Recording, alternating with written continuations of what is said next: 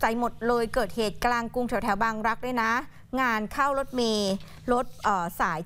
75 อยู่ดีๆ ก็มีชายคลุ้มคลั่งค่ะ ใช้ท่อนเหล็กยาวๆเนี่ยไปทุบรถเมย์คันเนี้ยทุบกระหน่ำอย่างบ้าคลั่งเลยนะคุณผู้ชมมีคลิปด้วยดูเลยค่ะ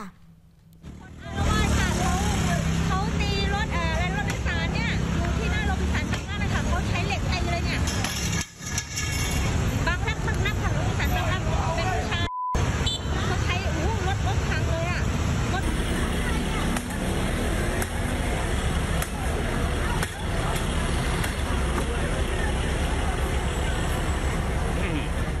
เนี่ยค่ะ รถก็ติดติดๆ แบบนี้นะคะแถวนั้นรถติดเป็นประจำอยู่แล้วแถวโรบินสันบางรักอะค่ะที่เขาอธิบายอยู่ในคลิปอะเนาะผู้ชายคนนี้คลั่งอะไรก็ไม่รู้ แล้วไปเอาท่อนเหล็กยาวมาจากไหนก็ไม่รู้ฟาดใหญ่เลยค่ะฟาดรถเมย์สาย 75 คันเนี้ยฟาดแบบไม่ยั้งนะเมื่อสักครู่ตีเอาเหล็กไปทิ่มด้านหลังเนี่ยมีลูกคุณใช่เพชรจ้าใช่ไหมค่ะวันนี้ไอจีคุณเพชรจ้าบอกว่าอะไรรู้ไหมยังไงเอาเอาเหล็กมาทิ่มเฮียทำไม โอ้สงสารเพชรจ้านะเฮีน่ายก็อยู่เฮียดีเออค่ะ นี่นะคะ อะบางรักค่ะคุณผู้ชม เหล็กกระแทกใส่กระจกหลังของรถเมย์ทะลุเป็นรูด้วย ตอนเกิดเหตุนี่คนขับรถเมย์เห็นท่าไม่ดีนะ จอดนิ่งแบบนี้เลยไม่ได้ขับหนีหรอกแต่ล็อกประตูรถเอาไว้ นี่คุณผู้ชมเราก็แอบเสียวนะ เพราะเหล็กอะมันยาวถ้าเกิดทันแบบแทงเข้าไปแล้วมันเกิดทะลุเข้าไปโดนผู้โดยสารนี่ก็งานเข้าอยู่เหมือนกันนะ แต่เขาคนนี้พอก่อเหตุจนหนำใจแล้วก็เดินหนีไปเหมือนไม่มีอะไรเกิดขึ้นนะคะ คุณภัยจิตพานนท์ผู้สื่อข่าวช่อง 8 ค่ะ ลงพื้นที่ไปยังที่เกิดเหตุตรงนี้เป็นซอยเจริญกรุง 46 แม่ค้าหลายคนแถวนี้เห็นเหตุการณ์ก็เล่าให้ฟังบอกตอนช่วงเย็นนี้คุณเอ้ยรถนี่มันติดปกติมันก็ติดหนักหนาสาหัสอยู่แล้ว คนมันก็พลุกพล่าน คนเดินผ่านไปผ่านมาข้ามถนนเนี่ยตรงเนี้ย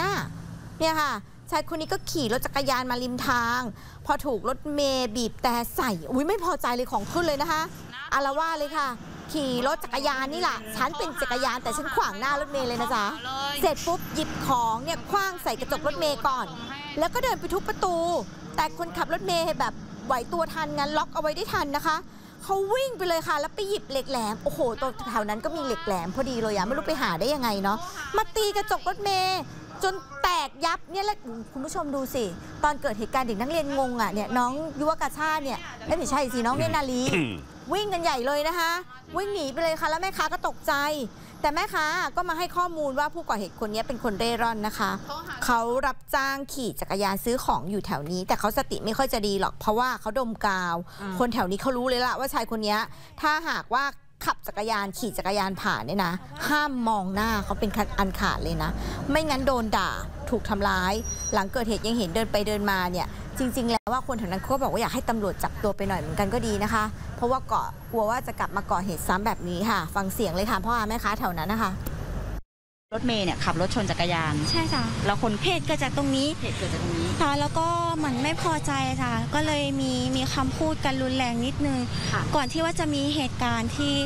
เอ่อทะเลาะวิวาทแล้วก็เกิดเรื่องราวจ้ะเขาเขาทำคนที่เขาไปอารวาสนี่เขาเขาทำยังไงบ้างอะคะที่เราเห็น ก็มีโยนข้าวของแล้วก็ เยอะมากอะจ้ะมากกว่า 50 ชิ้น แล้วก็ถังถังแก้วอะจ้ะแก้วของร้านบาโถก็กระจายเต็มทั่วท้องถนนไปหมด แล้วก็มี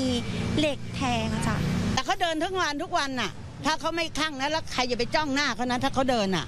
แสดงว่าถ้าจ้องหน้าเขาแล้วเขาจะเอาเรื่องเขาเดินแถวนี้ เขาเคยไหมแบบมีใครไปจ้องหน้าเขาแล้วเขาเอาเรื่องมีไหมถ้ามีคนไปจ้องหน้าเขาด่าตอนนั้นก็ไปทะเลาะกับใครโดนเขาชกมา ตาเตอปิดไปเลยอยู่พักหนึ่งแต่ก็คือเขาก็อยู่แถวเนี้ยแหละ เขาเดินแถวนี้ตลอดเขาเขามีอาชีพอะไรหรือว่ายังไงเขาคะเด็กเป็นคนจรจัด เขาไม่มีอาชีพอะไรก็เป็นจรจัดเดี๋ยวเดินไปวัดยาน เดี๋ยวเขาเดินไปทั่ว อืมแล้วตรงนี้มันพลุกพล่านมันเป็นพื้นที่ห้างสรรพสินค้าเนาะทีมข่าวก็เลยไปถึงอู่รถเมย์ย่านพุทธบูชาเลยค่ะ อืม อุ๊ย พี่รถเมย์ซ่อมไวมากเลยอะ่ะ ดูสิเปลี่ยนใส่กระจกบานใหม่แล้วนะคะ แล้วก็คนขับกับพนักงานคนอื่นที่ขับรถสาย 75 บอกไปนเสียงเดียวกันเลยว่า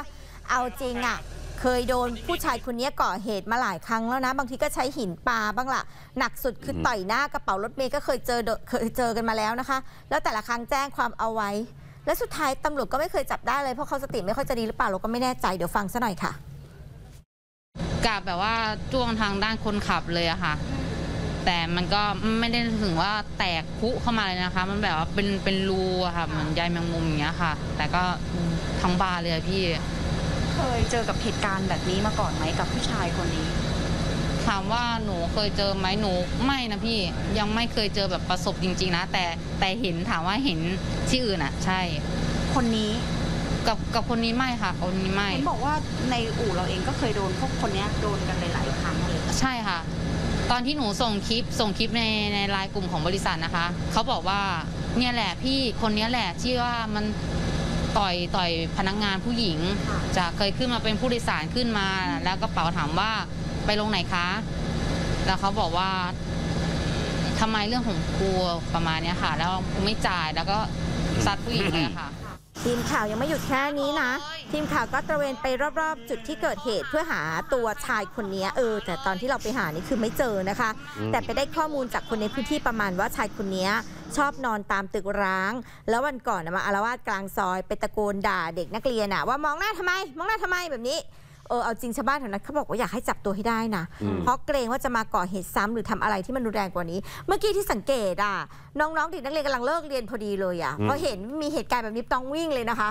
เออก็ไม่ค่อยจะปลอดภัยเนาะนะเดี๋ยวนี้คนคลั่งเยอะจริงๆเมื่อวานนี้ก็คลั่งถืออีโต้ไปไล่ฟันในร้านหมูกระทะค่ะวันนี้เอาเหล็กไปแทงแทงรถเมทางล์รถเมย์เออนะรู้ข่าวไวเข้าใจง่ายกด subscribe ข่าวช่อง 8